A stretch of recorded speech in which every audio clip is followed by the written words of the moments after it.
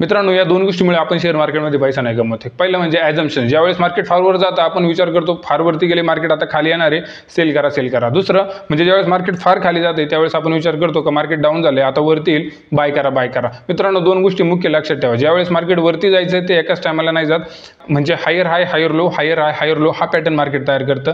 दुसरं मार्केट ज्यावेळेस खाली जाणार आहे म्हणजे सेल करायचं आहे त्यावेळेस lower low lower high lower low lower high हा पॅटर्न बनून मार्केट खाली जातं. दुसरं मित्रांनो मनी मॅनेजमेंट मनी मॅनेजमेंट म्हणजे तुमच्या जीवाला कॅपॅसिटीला जेवढा लॉस चालू होईल तेवढा तुम्ही कॅरी करा त्यापेक्षा जास्त कॅरी नका करू. तुम्ही काय करता तर जास्त प्रमाणात क्वांटिटी बाय करता आणि त्या ठिकाणी थोडासा जरी आपला स्टॉक स्टॉप लॉसच्या जवळ आला तर आपण त्या ठिकाणी लगेच एक्झिट करतो. म्हणजे एक रॅन्डम एक्झिट करतो. आणि तो ट्रेड तुमच्या डोळ्यासमोर दिसतोय का? तो तुम्ही सिलेक्ट केला स्टॉप लॉस आणि टार्गेट तो टार्गेटपर्यंत जातोय.